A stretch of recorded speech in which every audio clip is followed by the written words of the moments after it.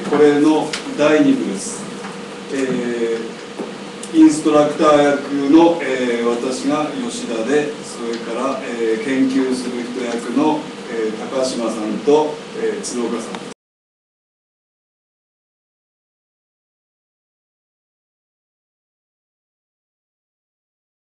えー、終えています。えー、っと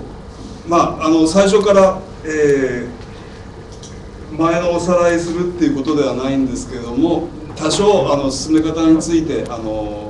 説明をしておきたいと思います。え、前回はあの3月8日でした。それで、えー、研究する人2人の立てた命題を、えー、ずっと検討していく。えー、そして研究によって明らかにすべき論点として、えー、立てるまでの過程をこの場で演じてみせるというのが、まあ、発表の、えー、やり方ですで、えー、っとここから先どこまで行くか分かりませんけど、まあ、今回あの準備をしていく過程で、えー、2人とも近々あの追加の調査をしてですねでそれを論文にまとめるぞと。いう気持ちになったようですので、えー、それはそれで、まあ、今回のあの、えー、入門講座の成果物としてあの論文にするというところまであのやりたいと思います。はいえー、でその過程であの皆さんに今日もそうなんですけどもあの、えー、調査の、えー、協力をお願いしたいと思いますのであのよろしくお願いします。はい、であのここでは今まで私たちがこう、えー、命題について検討してきた過程を、えー、そのまま演じて見せていきますのでぜひ思いついたらすぐ発言をしてください。えー、っと原則発表後にはあの時間を取りません。えー、こういうふうにあの前回言ったところ、あの、まあ、質問の時間取らないっていうのは、まあ、一方的ではないかというふうな意見もありましたけれども、取らないのではなくて、あの常に取っているわけです。ですので、あの気づいたらあの、えー、すぐにあの発言してほしいということなんですね。それであのもちろん、まあ、そうは言ってもあの2つ3つ先へ進んでからあのちょっとあの2つぐらい前の画面で、えー、思ったんですけどって別にそういう発言してもらっても全く構いませんし、えー、この前もそうでしたけどあの終わってから誰も喋るなとかいうふうなことは言いませんでしたのであの、まあ、気楽に構えてあの気づいたところであの話を、えー、自由にしてもらうっていうふうに。まあ、その方があのなんていうんでしょうねあの発言というかこう意見交換がこう有意義なものになると思うんです、まあ、それが一番の狙いで、えー、こういうルールでやってますので、まあ、ご協力よろしくお願いします。はい、であの今回は、えー、まず私の方から、えーと、前回終了時点の番の命題の確認とそれから、えーと、それをまあ元にして、まあ、前回あった議論特にあの、えー、見に来てくださった人からの、えー、指摘に基づいて少しですねあの問題を整理するやり方を、えー、ここでやっておこう、えーまあ、それをやりながらちょっとあの前やったことをちょっと振り返ってでその後にあの、えー、前回終えてから今日までのあの、えー、それぞれの、えー、命題の検討をあの演じていくっていうことに、えー、したいと思います。まあ、この順番で、えー、とやりたいと思います。はいであのこういうのをですね皆さん中学校ぐらいで習ったんじゃないかと思いますけれども、えー、私も習ったけどさっぱり分かりませんでしたしあの試験にもあまり出そうもないので真面目にやらなかったんですけどもあの、まあ、実はあの例えばあの幾何学とかそういうのであの証明っていうのが大事ですのでそれがあの理解できるようにということで本当のあの論理学の基礎の基礎をあのやってるんですね。これあの教えてもらっても何のためにどう使うっていうところを、まあ、なかなか教えてもらえなかったので、まあ、そのまま忘れてしまったそんな人も多いかと思いますがあの A ならば B これがあの真だという場合にはあの演疫的推論はあの機能的推論と、まあ、これ違う点なんですけども必ずこうなる結果はこうなる、えー、というふうになってるんですね。ですのであのこれをもとにしてあのコンピューターのプログラムもできるしあの計算もできる、えー、そういうことになりますが、えー、これで、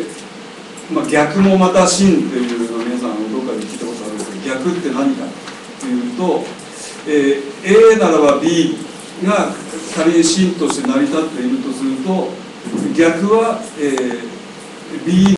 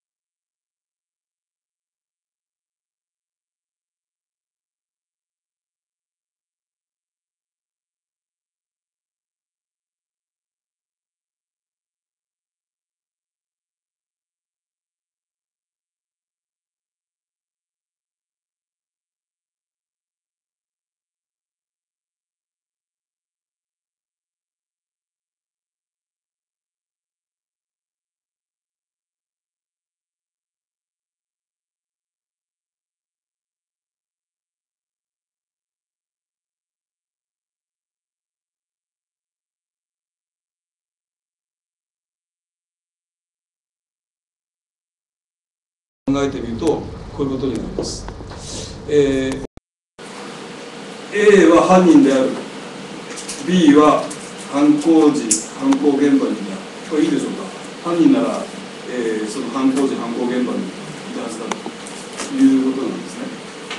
はい。で、えー、これがあの真である場合、えー、逆はどうなるかというと犯行時犯行現場にいたならばその人は犯人である、えー、というふうに思うと困っちゃうわけですね、えー、でこれはあの義になる例ですね。で裏、えー、犯人でないならば犯行時犯行現場にいないこう言えるかどうかはい。えー、どうでしょうねこれもまああのところが、えー、犯行時犯行現場にいないならば犯人ではないとは言えるというふうなことです。はい、でこういうふうなあの考えで、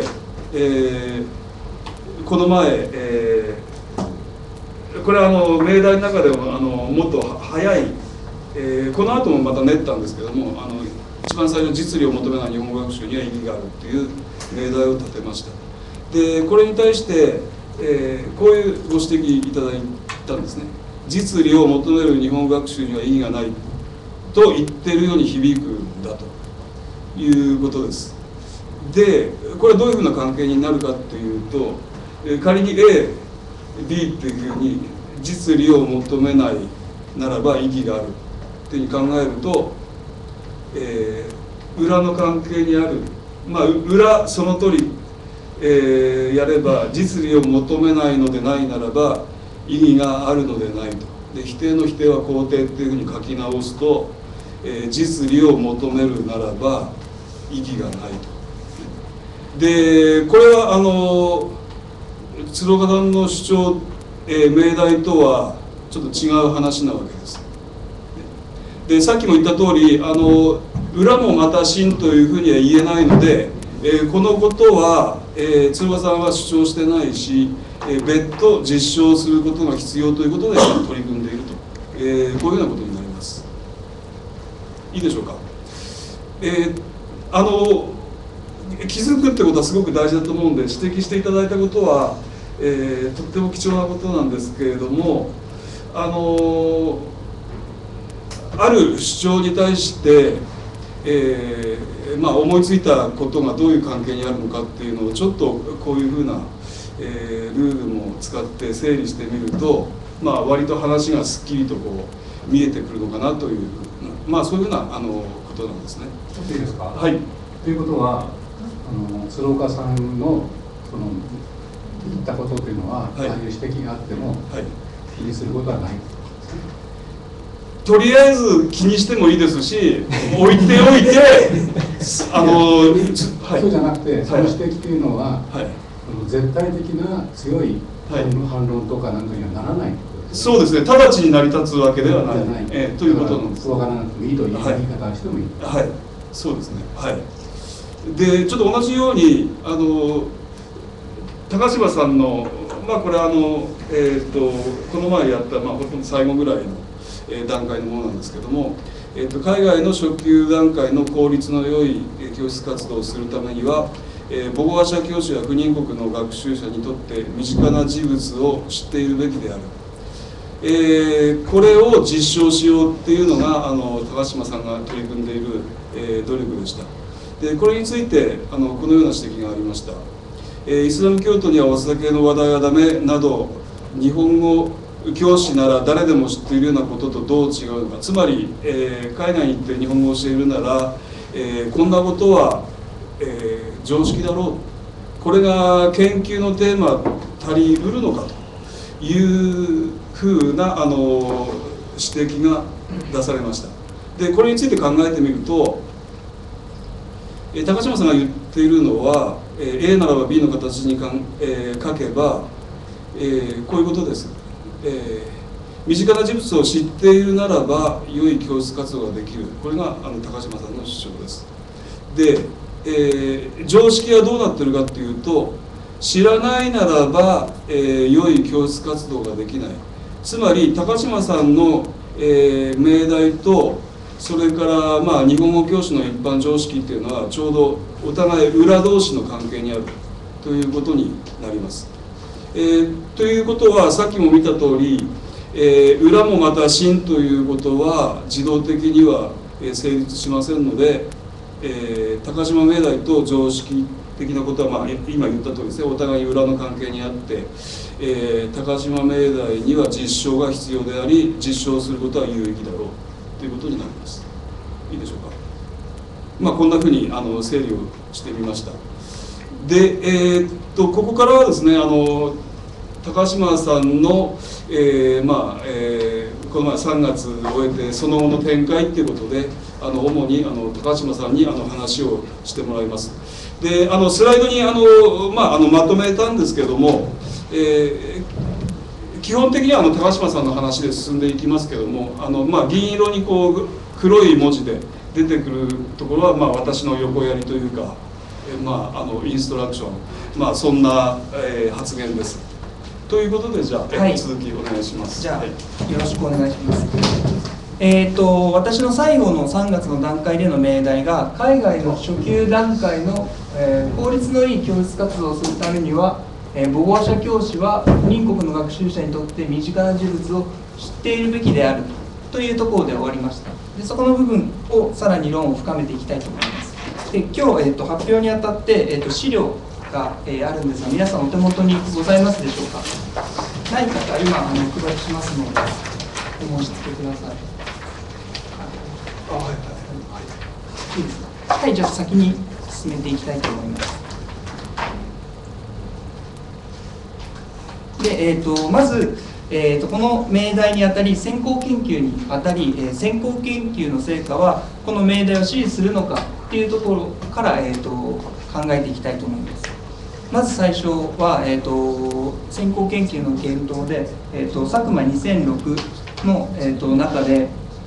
日本語学習者の動機をはじめ彼ら自身について多くを知る必要があるということが、えー、と主張されています。で、えー、とこれに関しまして、えーと、吉田さんの方から、はい、えー、っとこれはまああの私自身もあの海外で教えたことはありましたし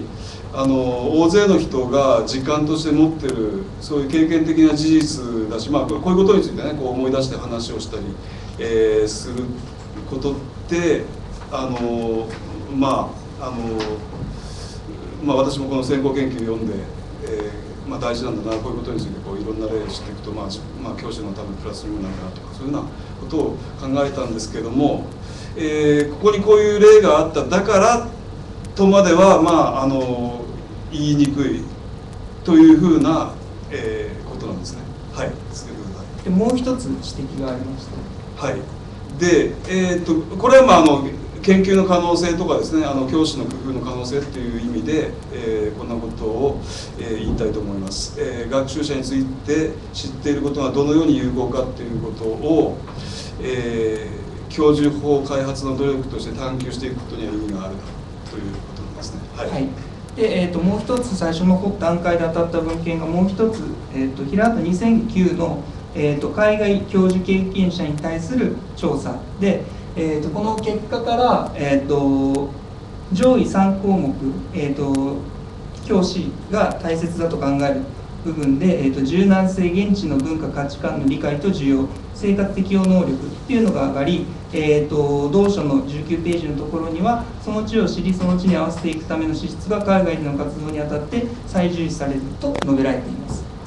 で、えー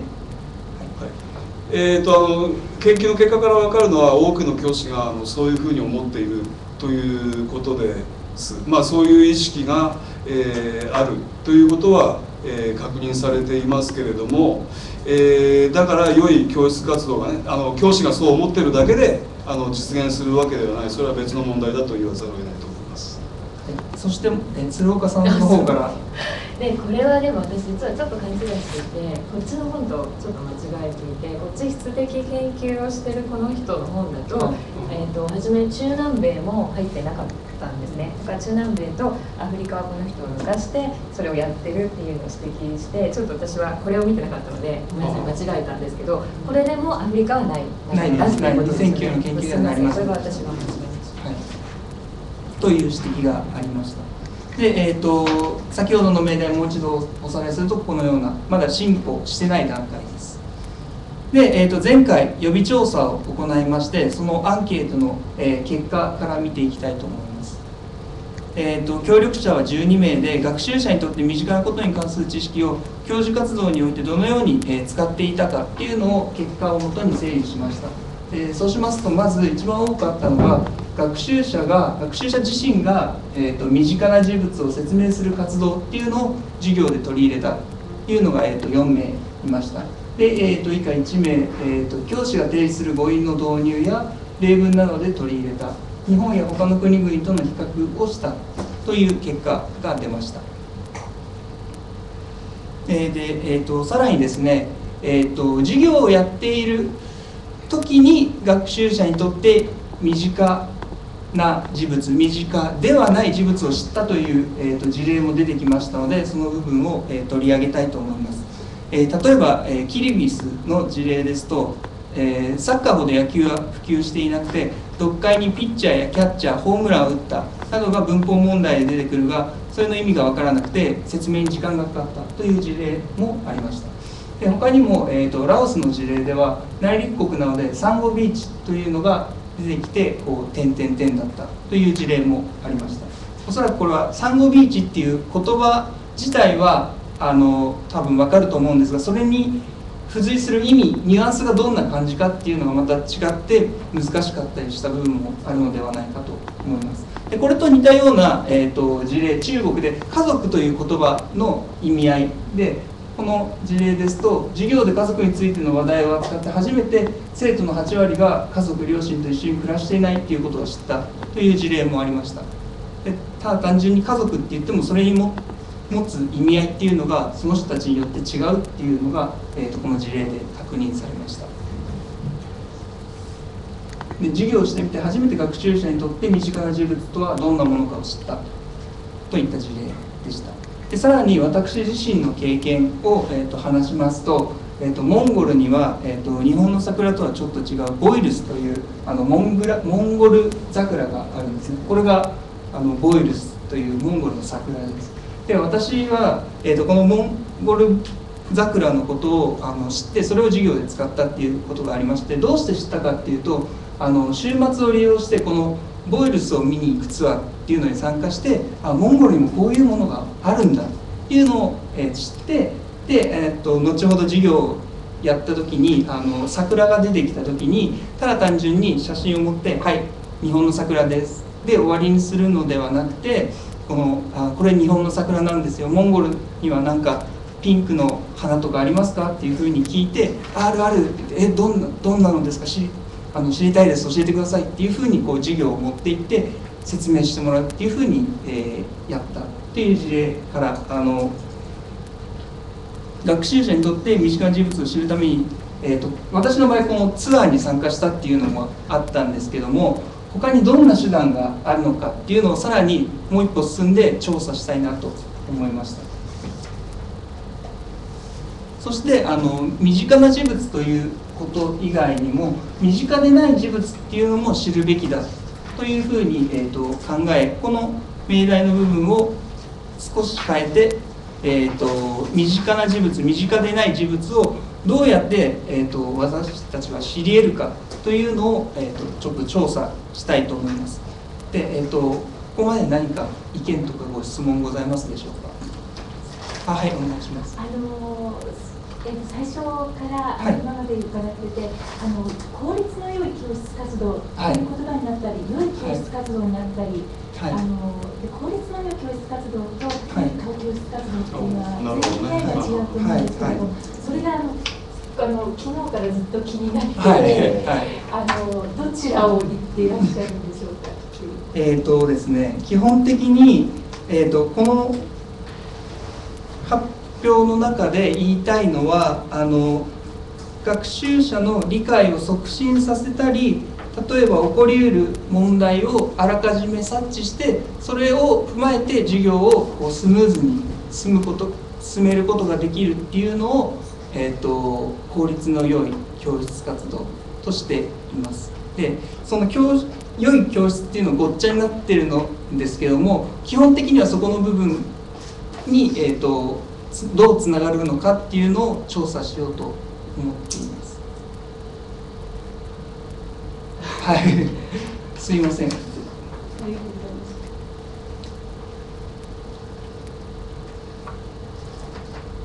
まあそうですねあの効率の良い教室活動もあの良い教室活動の一つには違いない、まあ、まあ、今はあのけんあのなんていうか考察の対象としてはそういうふうに絞っているっていうことだしまあ良い教室活動ってどういう教室活動かなって考えることはまたそれはそれで意味があると思います。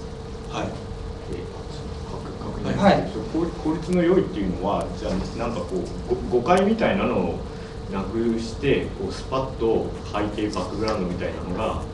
こう分かりやすいみたいなことなんですか、それがこうスムーズにいくっていうことが目指されている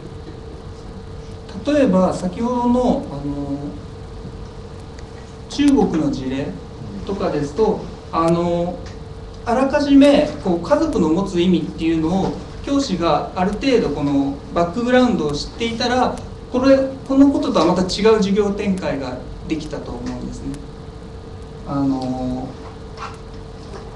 そのまんま家族について話してくださいっていうのではなく他の出し方例えば家族ではなくて例えば友達について話すに変えるのでもいいですし、まあえー、家族にするにしても日本と同じような家族じゃない出し方っていうのがあったんじゃないかなそこの部分をあの、まあ、効率の良いっていうふうに言うとすごい聞こえがなんか悪く聞こえちゃうんですけども、うんはい、そういうななんでしょうね。あのあ起こり得ることを事前にこう察知するとかそういうニュアンス。なんか誤解というか分からなくなってこう授業がモヤモヤってするのを回避するためのそうですね。そうですね。理解があの分かりやすかったりとかそういうニュアンスを、はい、使っています、そうですね。だからあの教師の方の都合だけでねあの予定通りはかどったというそういう話ではなくてあのやはりあの理解してもらいあの使えるようになってもらうことが、まあ、教室活動の狙いですので、えー、そういう観点から見てうまく進んだ学習が進んだっていうそういうことって考えてもらったらいいかなと思います。はい。あのありがとうございます。はい。では、えーと、予備調査で、えーと、近くの方4名ぐらいで、えーと、じ身近な人物をあの海外で知るためにどういうことをしたのかっていうのをちょっと,、えー、と話し合いをしていただきたいのですがよろしいでしょうか？すみません、はい、ちょっと質問で、はい、身近な人物と同時に、い、わゆる触れてはいけない笑いっていうか、はい、そういったものもこの身近な人物を知るためにの範疇に入ってる、はいはい、その場合、例えばその海外の現地で触れる機会が全くないようなものとかも含まれますね。ではいけないいけないものもだし、ね、触れないものも、ね、さっきのラオスの3はいはい、っていうのも含めて身近なっていうニュアンスで使ってます、はい、他によろしいでしょうかじゃあ、はい、前回の話と関わってくるむしろその辺で私のあの質問があのピンタあの本来も触れてたもんで関わってきてるんだと申し訳ないんですけれどもね、はい、あのよく今わからないのは例えば効率のいい教育活動をするためには教師はその類語類語なりその文法なりあの日本事情なりもういろんな項目についてその知識を持ってないといけないわけです。はい、でそのそういう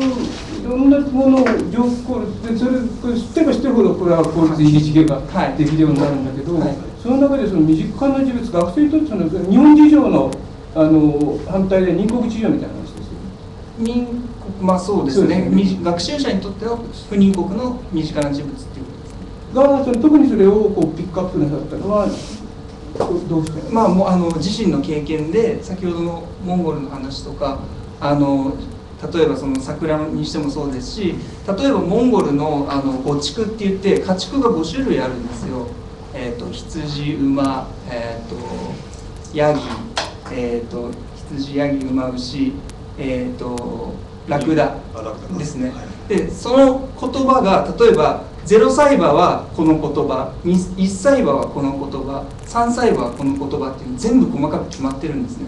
でその知識私をあの向こうの、えっと、現地契約の日本人の先生にあの話を伺ってでその、えーと、ことをうまくこう利用活用してなんかいい教室活動できないかって考えた時に例えば、えーと、何でしたっけ、えーと、とのと何歳になると何々になります。みたいな感じでこう家畜について紹介するあの活動教室活動を取り入れた時にすごく盛り上がったんですね、うん、こうあモンゴルのこう馬は何歳になるとこうなりますっていうのをこう伝えて。でそういうのを知っているとこう理解をこう促進させたりするんじゃないのかなっていう自身の経験があってそれからこのテーマになりました。いろいろテーマある中でそこをピックアップしたのはその自分の経験があるから。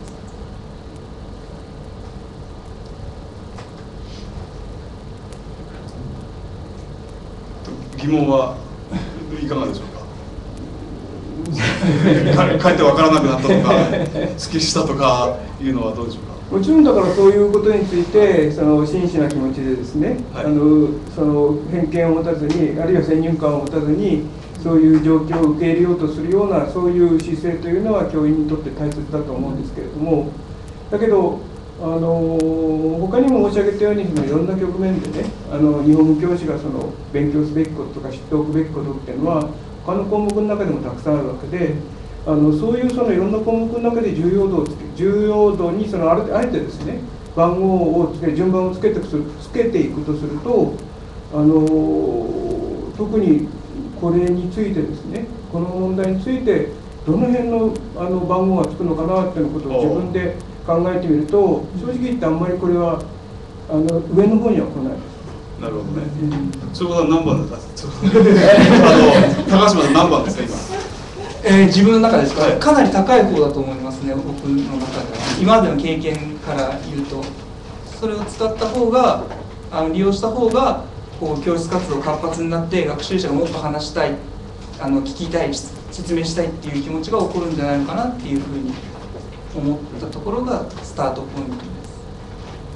ですでいろいろ他にも日本教師これだけじゃダメだったともちろん思いますしいろんな資質とか能力っていうのが必要だと思うんですけどもまあ大切だろうなって思うその一つに絞ってじゃあ実際どういうふうにこうあのつながるのかっていうのを、まあ、全部ある中からそれをピックアップしてさらに掘り下げを論を深めようと思った次第です。はいはい、命題自体が効率の良いって言葉がすごく引っかかる、はい、あの言い回しなんですけどそのお話を伺ってるとそうい。う障害とか教室活動でそこでこうつまずい。てしまうってい。うようなことをこうか回避するっていうか、はい、そうしたらあのもっとコミュニケーションとか教室活動が活発になるんじゃないかっていうような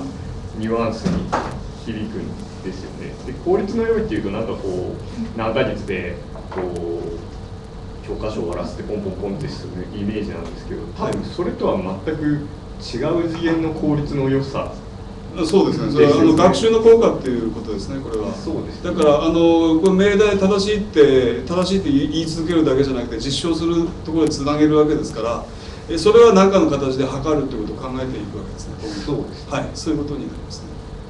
あ、すみません。あの今おっしゃったそのあの、ね、その良いあ、はい、あのそれが自分ご自分の中の優先順位の上の方にはなる方とならない方でそれは教育界の違いだと思うんですね。でだからそれはあの自分にとって良い教室っていうのは何なのかっていうのを明らかにした上でそのためには自分はあの優先順位これの優先順位高いっていう言い方をすれば多分ああそういう教育家の方はそういうふうに思うんですねというふうになる。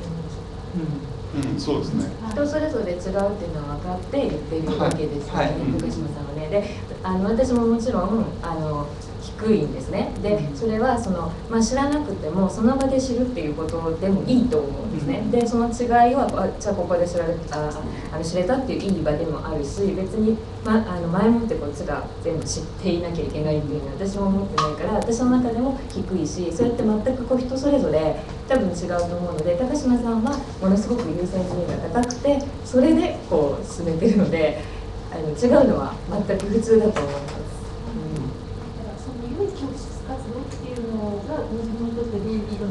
っていうのがわからない段階であのこの自分はこれの優先順位の上だっていうふうに言われると多分わからないっていうことになっちゃう。